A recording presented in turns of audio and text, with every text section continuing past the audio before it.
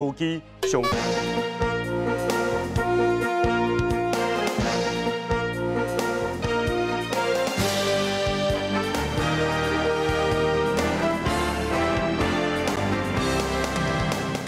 欢迎收看《台湾向前行》，台湾向前行。我是梦琪。俄罗斯跟乌克兰的战争已经二十七天，快要一个月了。普丁没有什么具体的斩获，只好拿平民开刀，不断的轰炸住宅区，要逼乌克兰就范。不过乌克兰全国上下意志都非常的坚强，绝不放弃。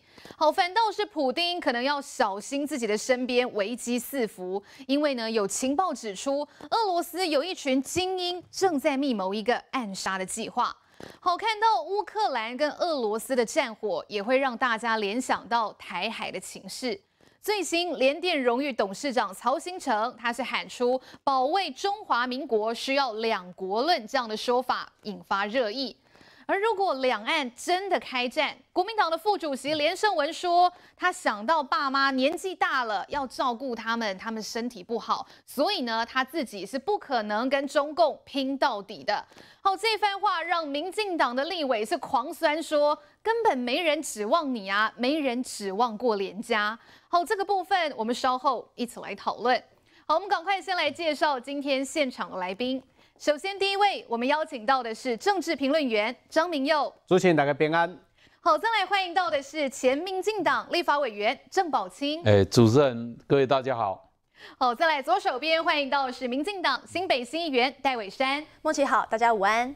好，再来邀请到的是国民党高雄新议员黄少廷。莫奇好，大家好。好，最后欢迎到的是资深媒体人温生温大哥。哎，主持人各位好。好，我们赶快先来看到的是俄罗斯发动的最新一波攻势，针对乌克兰的城市马里乌波尔，是每十分钟就轰炸一次，企图要来以战逼和。不过乌克兰坚定的回应，绝对不投降。我们赶快一起来关心最新的情势。乌俄开打第四周，乌国总统泽伦斯基表示，东南部港口城市马里乌波尔就要化为灰烬。hardworking, honest city of Mariupol, which is being destroyed by the occupiers and being reduced to ashes, but it will survive. 马里乌波尔每十分钟就被炸一次，俄军还朝一所收留上百民众的艺术学校开轰，从空中俯瞰，整座城市几乎成废墟。俄军甚至对当局下达最后通牒，要马里乌波尔投降，不过遭乌国副总理拒绝。There's the geographical reason that it's their only access to the sea is off of Azov.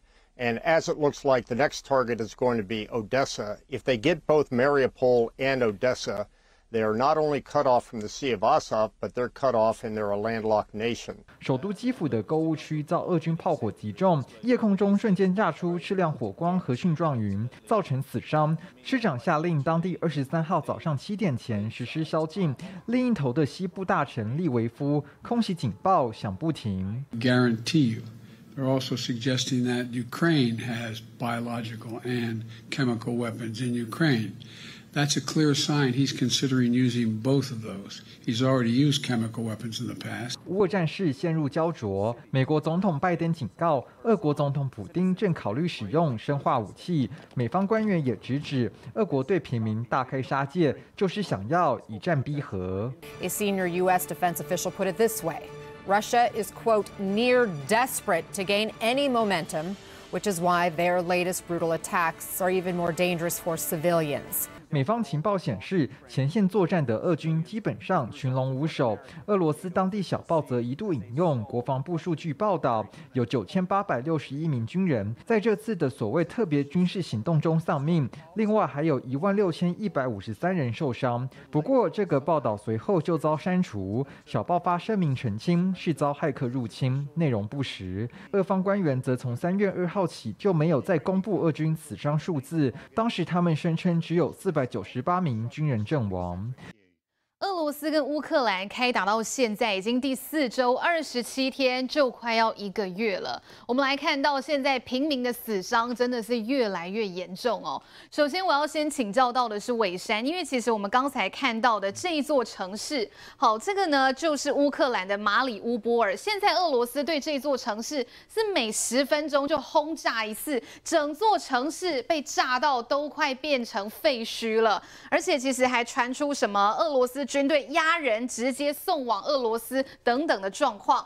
那我们看到普丁哦，甚至放话说，如果你们不投降，更惨烈的人道危机会发生。那美国官员是认为说，俄国现在持续拿平民来开刀，其实为的就是要以战逼和啊。现在除了在马里乌波尔之外，在这个乌克兰的首都基辅也已经要实施这个宵禁哦，从二十一号晚上要一直持续到二十三号的早晨，就是说民众在这三十五个小时当中呢，尽量不要在城市内自由。的行动要躲避到邻近的避难所。我想请教一下伟山哦，普丁现在军事设施上面他没有什么具体的斩获，他只会拿小老百姓来开刀，哎。呃，其实普京现在应该也是蛮紧张的啦，就是说他当初应该没有想象中会呃受到乌克兰这么大的一个抵御有，这么大的一个防御。通常现在的战争，因为大家很久没有战争，总是会觉得说民心应该会溃散，他应该很快可以占领，因为他当初的预期是三天内就要攻下一座城，然后让他们可以呃进行投降或谈判。可是没有想到乌军这么奋勇的杀敌哦，那所以也让他们的战士到现在已经快一个月，其实没有很具体的斩获。那连现在要进行谈判，可能都现在还没有一个比较明确的。这个进展，那所以普丁当然会很着急，因为你要想每一天的战士的这个呃军费哦，一天是两百亿元呢，就这么高的一个金额，其实对于他们的经济来说也是非常大的负担。而且普丁自己也知道，呃，俄罗斯国内的国民其实也没有全数都赞成这一次的战争。我们看到很多就是俄国内的居民，其实他们也有站出来表达他们是反战的这样的一个诉求，他也不希望自己家乡的子弟兵上场就是呃受死等等。那所以我们会看到普丁当然很着。他一定需要有一个很明确的一个呃，他在军事上的斩获，他才有办法对国内的人交代说为什么他要打这一战。嗯，那所以我们可以看到他的压力当然是来自于内部，一定会有很多跟他不同派系的人，对于他现在这次出战这种比较轻率的行为，可以可能感到不满。那所以不满的话，就有可能会造成普丁自己在内部的一些执政上的危机。那毕竟他已经执政这么久了，相信很多人也会想要推翻他，所以我们才有听到说，哦，最近有些消息说，有一些啊小道消息来源就是说啊，有人想要去暗杀普丁啊，希望可以把战事停止啊，等等，这些都很有可能。那现在这一次乌军跟这个俄军的这个冲突，其实心里最害怕的不是只有普丁而已，其实中国也是一样。呃，其实就我觉得习近平现在也在观察，未来有一天他如果也发动。动这个武力的战争，如果也遭受到这么大的抵抗，那他会不会未来也有也有可能像普丁这样，有可能会惨淡的下台，或有可能会遭受生命的危机？所以这个有点像是是一个中国的这样的一个借镜哦。那我们当然是希望乌军可以继续的抵御下去，那希望呃跟这个俄国之间可以不要有这种呃。太太让人家觉得失望的这种这种停战等等的，或是这种妥协，那我相信这样子的一个状况下，我们也会带来给呃更多的世界上这种很恶质的强权会知道说，其实他们想要攻占别人或去侵略别人，其实到最后会自食恶果其实是自己。是乌克兰到现在哦，都是这样子奋勇来抗战的哦。尤其哦，这边要先来请教一下明佑哥的是，我们看到虽然俄罗斯呢对于这些平民区是不断的这样狂轰猛炸，可是乌克兰告诉他们，他们是绝对不投降的。而且在这个过程当中，还看到的这些所列出来的这六名将官，这都是在俄罗斯当中哦是非常高阶的将领，但是他们在这一次对乌克兰的行动当中已经阵亡了，或是。是直接被乌军给歼灭。好，这个讯息传出来哦，我们看到这一位是前美国 CIA 中央情报局长裴卓斯，他的分析，他说这真的很不寻常哦，打仗到现在也才三四周而已，怎么会这些这六位哦，他们都是非常资深的将领。怎么会三个星期之内就被歼灭？好，是不是俄罗斯的通联网络已经被乌克兰军队破坏，安全通讯也坏了，所以资深将领走到哪，乌克兰才会马上就知道呢？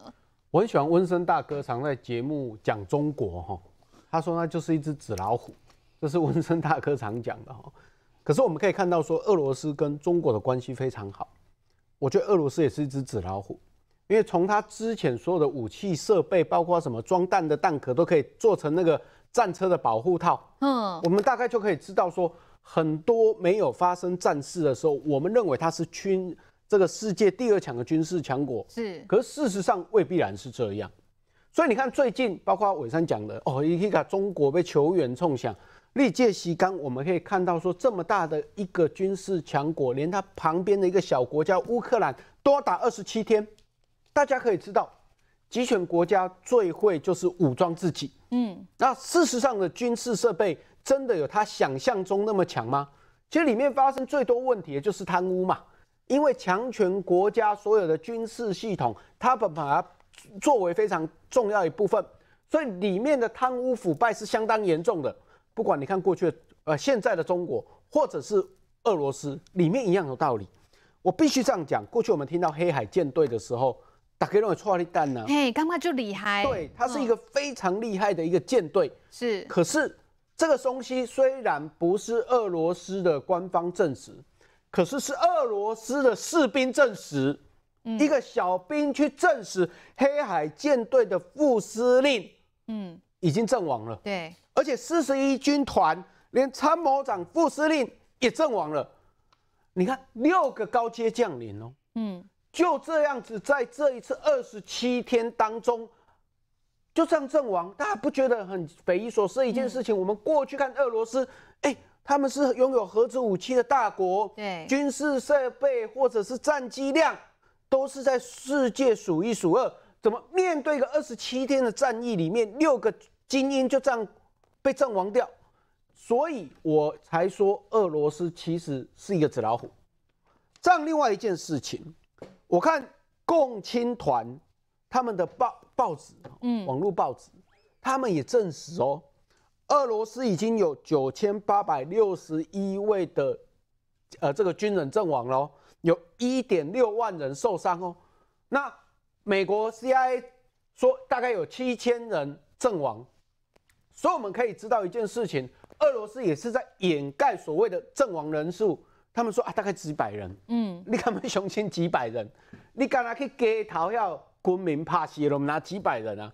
所以我要告诉各位一件事情：俄罗斯的普京啊，现在应该是急疯了，不然没有可能在前天放出一个消息说他愿意跟泽伦斯基坐下来好好的对谈。是是，这个过去是不可能发生的事情。我可能两三天，我可能要就可以把泽所谓的基辅拿下来。可是我打到现在二十七天，连基辅都还进不去。对，没错，明明就在几十公里外，我进不去就是进不去。你看他现在转而打这个呃马里乌波尔，为什么？因为它是一个要塞，嗯，有三十万人口在东南部的一个港口。那打这个要塞的时候，那里面有三十万人，他现在把它打到断水断电呐。你看他只能去打。港边的城市，它没办法进到内陆，对，核心进不去。对，为什么会这样？表示他们我们一般想象中，你的这个陆战能力会很强。事实上，我看起来是扑扑完了。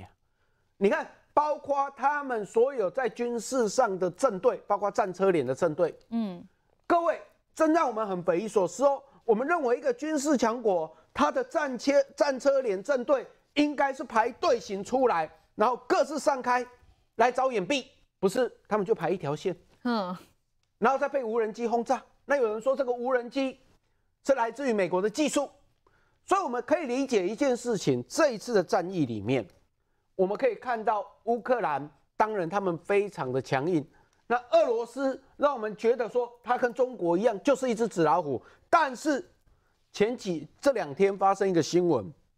他把矛头开始开始对向海外，嗯，他们退出了二战和平条约的谈判里面，现在他们认为他们自己是战争国，跟日本的和平条约是不算数的，嗯，所以日本现在会开始有点反映出来，原因是在这里，我有可能会去打你日本，嗯。你日本给我乖一点，你不要替乌克兰讲话，他现在做的做法就是这样。因为你看，俄罗斯的周边国家，他们很多土地还是相连，在二次大战的时候，甚至有很多的日本还留在俄罗斯的周边海域的岛屿上面。所以我们可以理解一件事情：他把周边国家开始去苗矛头指向周边国家，表示什么？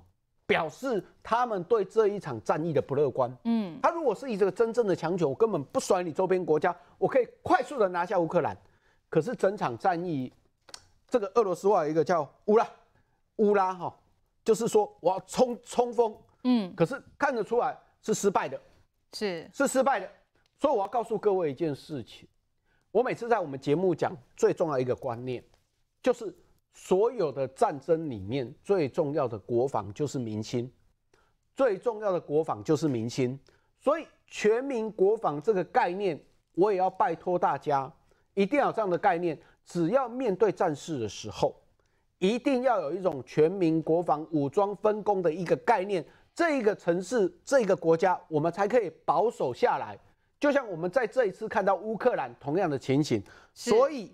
普丁现在被传出什么下毒、什么挖哥的，我个人认为是这样啦，他是是个心慌意乱的啦。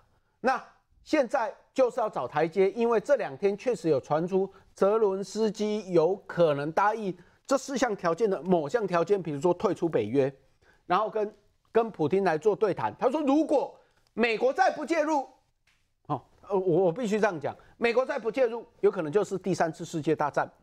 那如果是这样的话，他认为他要抓住每一分可以停战的险可能性。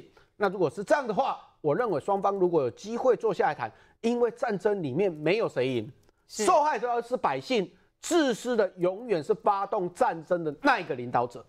刚才明佑哥分析，他觉得这几天战事看下来，觉得俄罗斯的军队真的就像是纸老虎弄来港海啦。这个部分我也要请教宝清委员的看法，因为其实针对这个战争的报道，其实有非常多，其中有一条我所看到是说，俄罗斯哦这拜好像派到乌克兰的这个将领也不过才二十几位，如果这个消息属实，只派出二十几位，就有六位高阶将领阵亡被杀死的话。那这样子表示有三分之一的将领，哎，将领是有点像指挥官的意味。如果这样都不见，那到底俄罗斯的军队现在是出了什么样的大的问题？怎么会六位高阶将领这么快短期之内就被杀死了？对我们讲说见为支柱了哈，我们从一粒沙就会看到整个苍穹。我们可以看到啊，俄罗斯现在面对很大的困难，所以为什么哎，俄俄罗斯可以宣称说不投降？更惨烈的人道危机会发会发生，哎，这是犯了战争罪啊！怎么可以明着就要攻攻打这个平民？所以啊，上帝要使人疯死亡啊，一定先让他疯狂。这已经疯狂了，你已经造成了全世界的谴责啊！嗯，你为什么俄罗斯你可以敢做这种全世界一致指的指责的事情？所以我们知道啊，其实乌克兰啊，现在很清楚是站在胜的这一面。为什么战争不是单一个面向？不是只有军事，它有科技，它有经济，还有很多的这个呃面向，包含了认知战，包含了资讯战等等。这些我们可以看到，全世界人不一定要派部队去打仗。像为什么乌克兰通信不会被断掉？不是美国商人在支持吗？美国商人支持，当然就是全世界看不起俄罗斯嘛。就是说，哎。你怎么可以这个独夫可以发动战争？嗯，然后用你的独裁专制来对抗民主自由，所以这个都是违反整个人类的发展史了。所以我们可以看到，俄罗斯今天会得到全世界的认同，就是什么？他就讲得很清楚：我被炸了之后，你不帮我，以后就发生你的危机。为什么珍珠珍珠港事件发生，美国就反就跟日本打起战来？今天一样的道理，我在受害。我在为民主自由打战的时候，你们要来帮我，所以已经造成了全世界的共鸣，所以全世界都愿意帮他嘛。所以当然我们看到他们的地理环境跟台湾是完全不一样的了哈。台湾就是它是一个平原，台湾就一个台湾海峡嘛。那台湾当然在世全世界的地位也不一样。台湾的你看我们的晶片也好，我们的这个飞弹的部署也好，我们各种人民的这个抵抗的能力，我相信都是可以向乌克兰来学习。换句话说，乌克兰他们这样啊，就是很清楚的，要民主自由对抗专制独裁的政权。是我们看到，其实刚才讲到这个通讯的问题，像这一位前 CIA 的这个局长裴卓斯，他也点出了问题。他说，现在俄罗斯的军队，他们彼此的通讯根本没通啦。最后呢，居然还有人哦，这个困窘到跑去偷乌克兰平民的手机来使用。好，那你当然用人家的通讯系统，当然呢被找到之后就是被歼灭嘛。好，这是我们看到现在乌俄战争的最新情势。那当然，刚才大家有提到，现在很多的。消息指出，哦，俄罗斯政商界的精英正在密谋一场要杀掉普丁的计划，好，甚至连总统接班人马崔赫啊，哦，好，现在乌俄的状况接下来会怎么演变？还有拜登这个礼拜就要飞往中国，就要飞往欧洲去了，到底会不会前进乌克兰的基辅呢？我们等一下回来继续来讨论。